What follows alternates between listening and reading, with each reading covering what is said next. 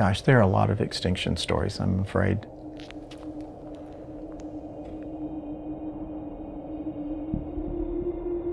To some extent, we don't really know what we've lost.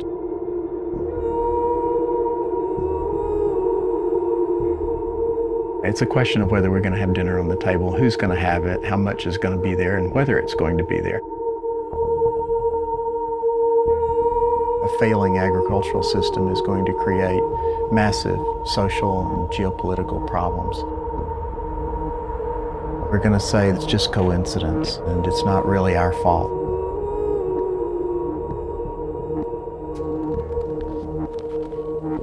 The longer we do that, the more dangerous it's going to be for us because the hole is getting deeper. We're digging it deeper.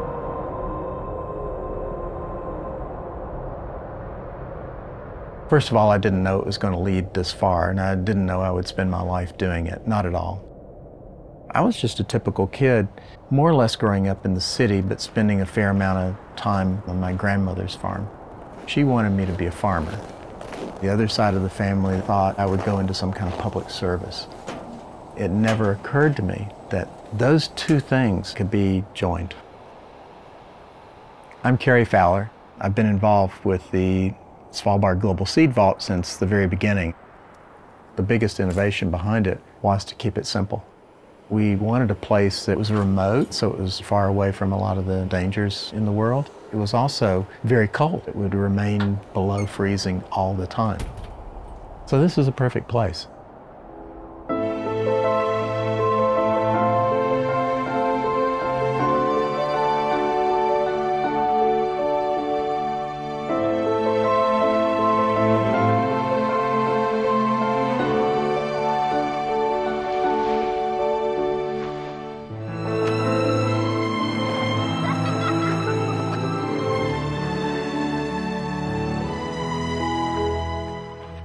Well, the seed vault, you could describe it in a couple of ways. One, you could just say it's a room with seeds at the end of a long tunnel in a mountain.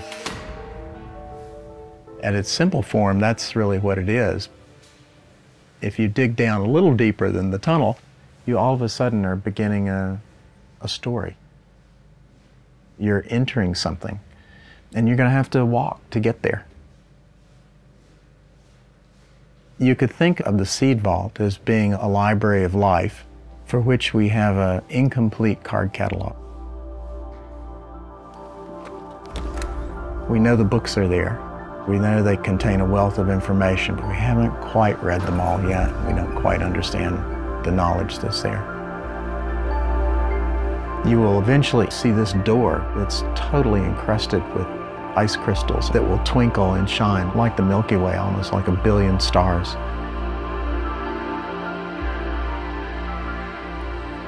And you, you know instantly that, whoa, there's something behind that door.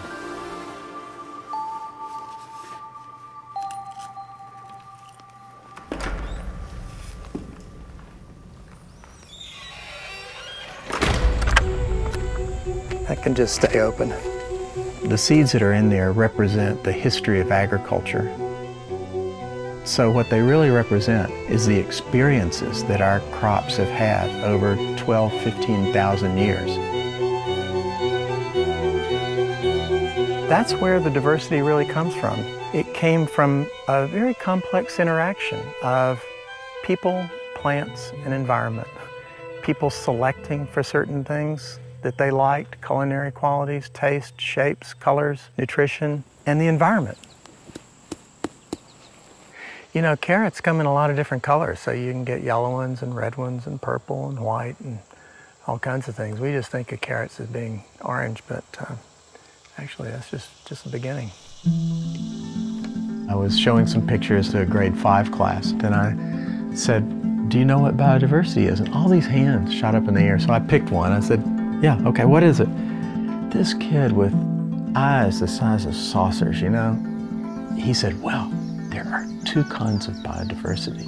He said one kind is the kind uh, that's like you find in the tropical rainforest, and that's the diversity between species. He said, but there's a more important kind of biodiversity, and that's the diversity within species. because that's what gives them the ability to evolve. I thought, kid, you come up here. One example is, is right behind you. it's from about the 1880s in Rhineland, and you will see examples of rust disease infect the different leaves. So this is not good for the trees. But here's an example of diversity, mm. because right next to it, we have this Binet Rouge, which is a, a, cider apple, I guess you would say, from France, also in the 1880s. And as you can see, it's really no rust on this one whatsoever. I can't find a single spot. So if something bad happens to this plant, well, maybe this one comes through. And that just um, gives you a little bit of insurance. My focus and my real concern has been that we're losing diversity within species, within tomatoes, within the melons, within corn and wheat. We're losing that uh, day by day. And so there's a real urgency.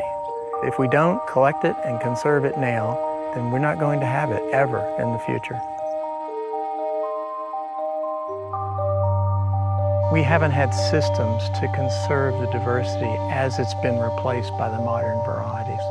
And so we've lost, as in becoming extinct, a lot of diversity.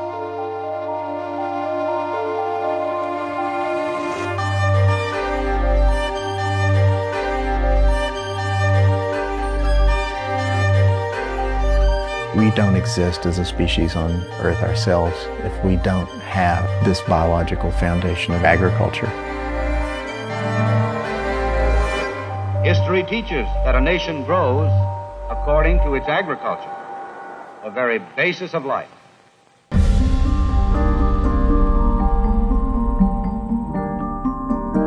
We're headed for climate, certainly in Africa and other areas that have never before existed in the whole history of agriculture. The crops are on the front lines. They're the first thing that's really going to experience climate change, and they're not adapted to conditions they've never seen before. Our domesticated crops are totally dependent on us. Their survival depends on us. That's our future, like it or not. We're together.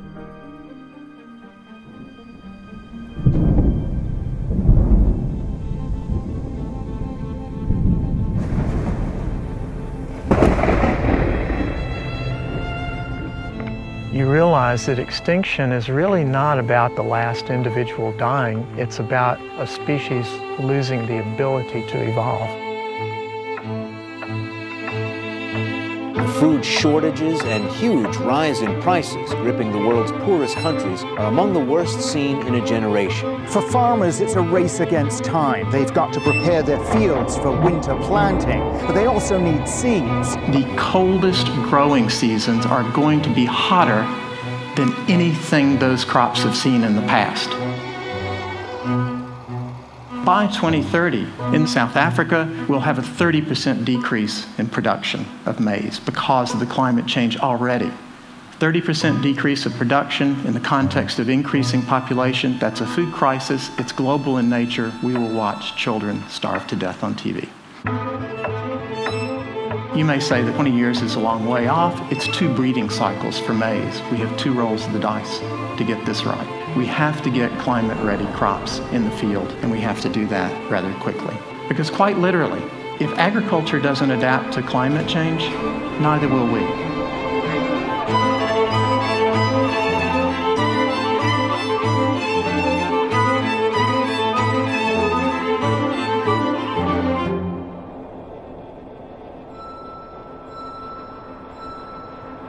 What are we doing if we're not conserving that foundation of our own civilization.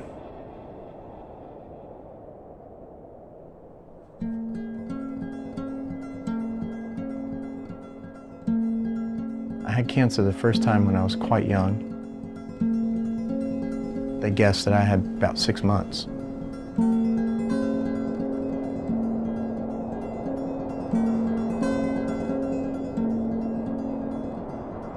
That age, I wondered, you know, the most profound questions. Well, what has this all been about? What, why?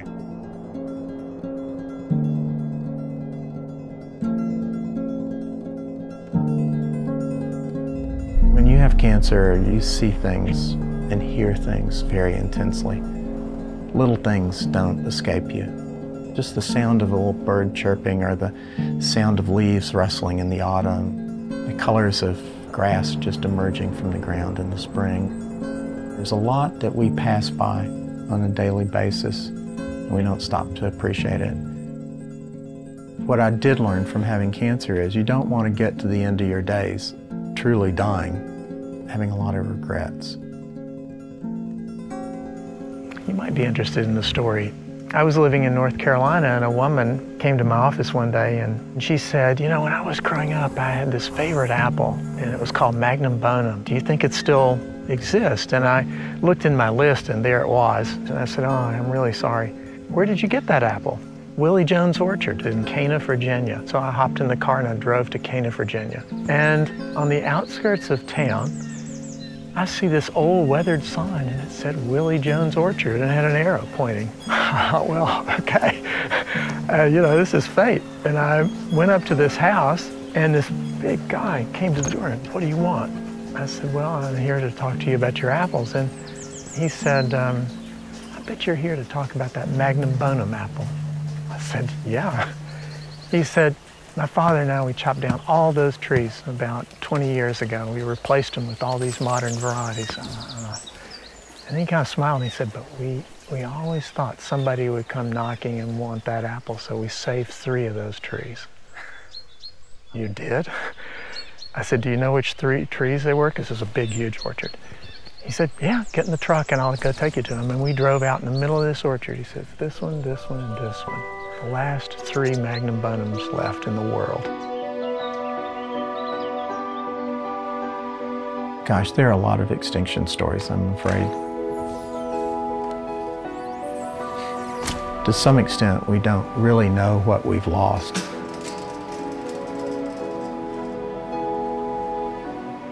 So what do we do? And I think about the only answer for that is we save as many of the options as possible. We've co-evolved with each other. We both depend on each other and we both reflect each other. Our agricultural system goes back hundreds of human generations. So all of our ancestors have had a role in conserving this diversity and handing it forward to us. We just have to hand it off to the next generation. That's doable.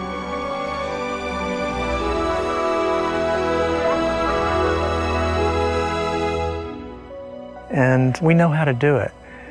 It just takes being a little bit smart about it and making it a priority.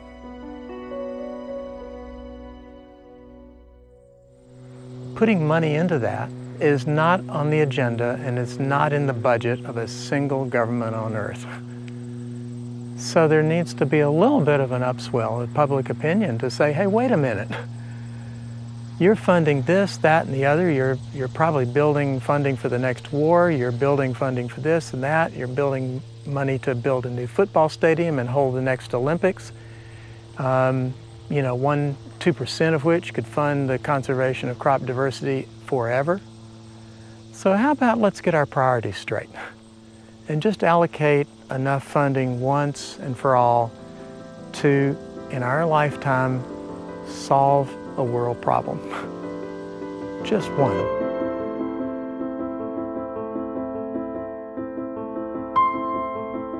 This is really the central challenge that humanity faces. It's not going to get better by ignoring it.